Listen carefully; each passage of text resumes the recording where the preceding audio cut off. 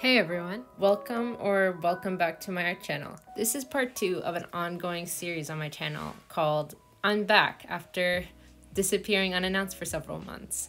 If you're new to my channel, I'm sorry in advance for the long intro. I'll try putting like a timestamp to when I start drawing. But if you're curious why I disappeared for five months, it's basically because of School. I'm studying computer system engineering in university, and I thought it would be a great idea in the fall to become a part time art YouTuber, professional, pro- professional thing. Yeah, it did not go so well.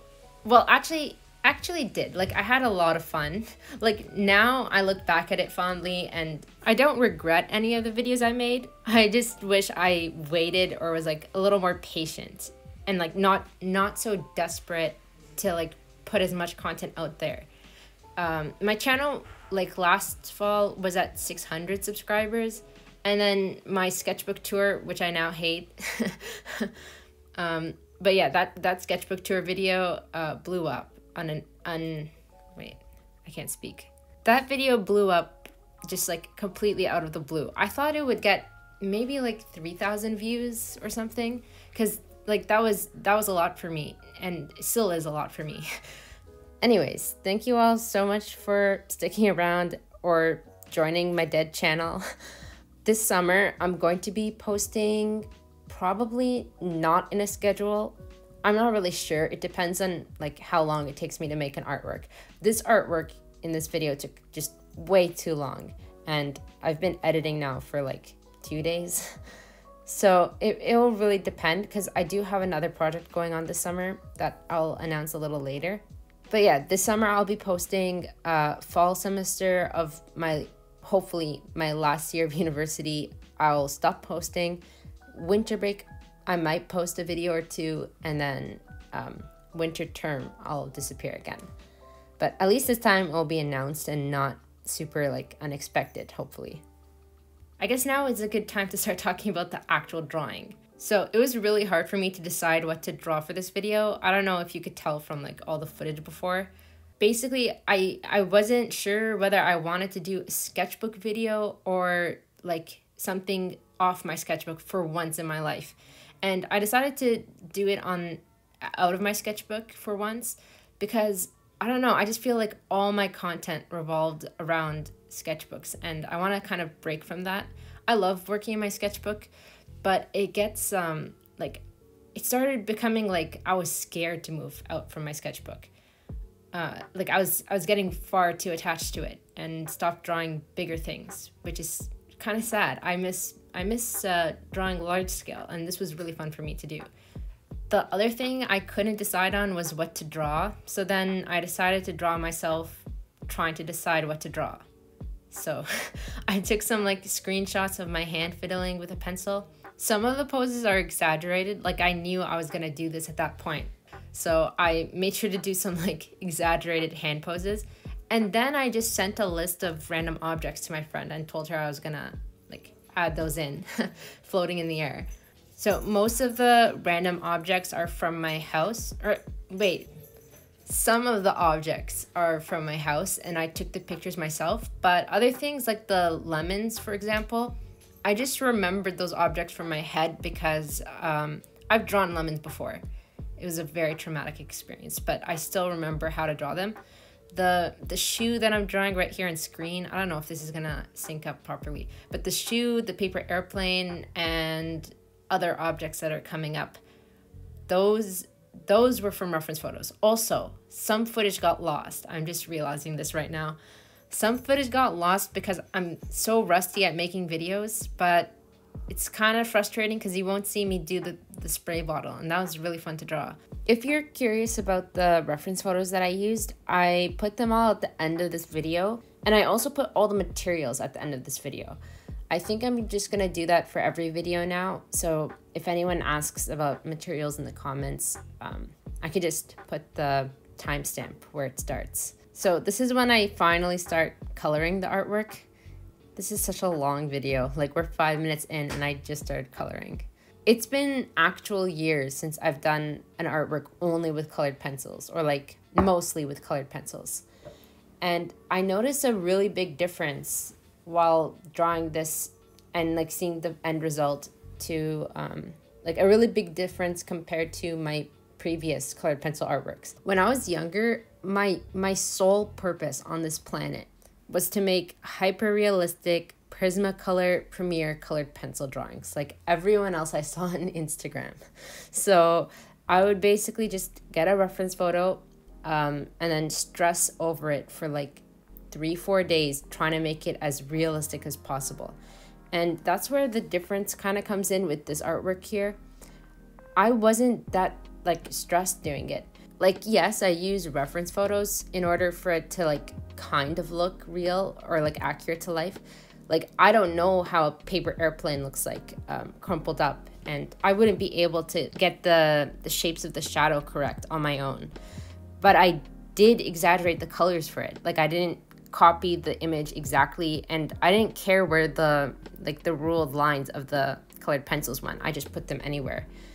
So that's that's the main difference I felt. Um, I relied a lot more on my imagination, and I still used reference photos. Reference photos are really important, and there's no shame in using reference photos or even making something hyper realistic. I love hyper realism art, and I do want to attempt it again sometime this summer, maybe.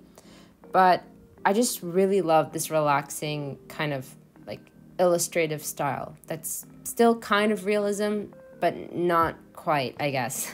I don't know. There's probably a fancy art word for it. So um, please educate me in the comments. Thank you. But, anyways, I had so much fun doing still lifes for a change because a lot of the art I do, it's either like um, character art or um, like background drawings. So, doing a couple of still lifes and like having fun with that was a really nice change of pace and yeah, I think my favorite thing to draw in this um, in this uh, artwork was the spray bottle and Ziku's collar.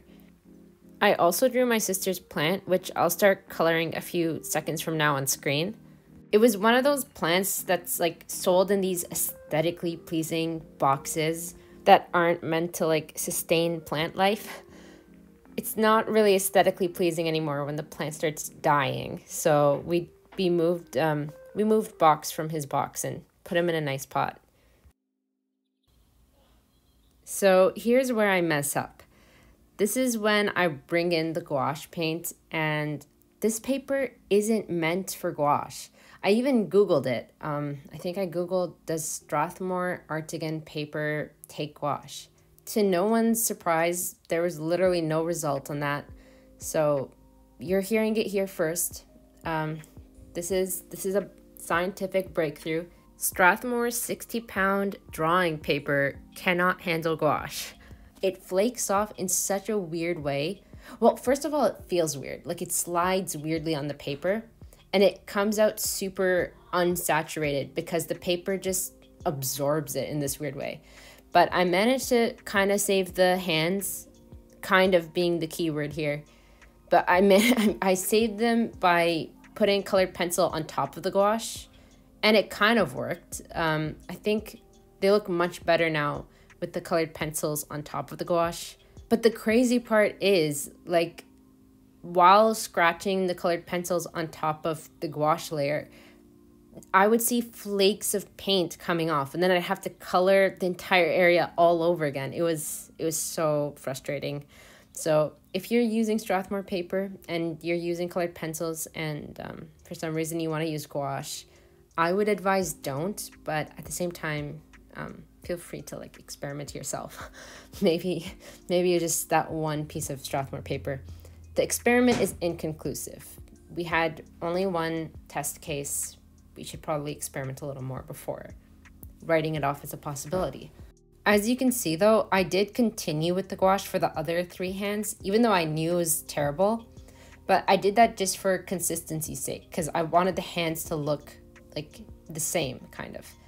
But I used the gouache in the first place because, wait, wait, I forgot to mention this. I forgot this like entire rant I had planned out. The hands drove me crazy. I'm now just realizing how bad the hands drove me crazy. Maybe it's because I last worked on this artwork two days ago, so I already forgot all the pain associated with it. But I really wanted the hands to stand out because this artwork is all about how I'm indecisive on what to draw. I tried to um, portray that, I guess. That's the only word I can think of. So I wanted the hands to be the main focus, not the objects. I wanted the hands to really like pop. So that's why I used gouache in the first place. And then I wanted to make the hands a different color from the surrounding objects so that they'd stand out even more. So I made the mistake of giving myself options. And I was already in an extremely indecisive mood, I guess. Couldn't decide on the materials, I couldn't decide on the paper, couldn't decide on the subject. And now I gave myself another thing that I couldn't decide on, which was the colors of the hand. So I asked my siblings, I asked my friend, and she asked her family. And at the start, blue was winning with six points. Then purple had two points, and only my younger brother chose red. And so naturally, we teased him for that. But then my mom and dad chose red, and then 126 people on Instagram chose red. So I guess I should retire and let my younger brother run this channel.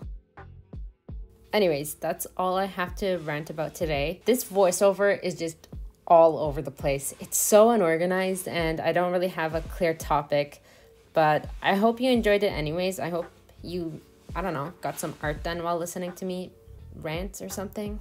Maybe got some homework done. I don't know what I'm saying anymore. I'm gonna sign off before I embarrass myself even further. And um, yeah, thank you all so much for the support and like sticking around. I can't believe we're at 20,000 subscribers now. It's kind of crazy.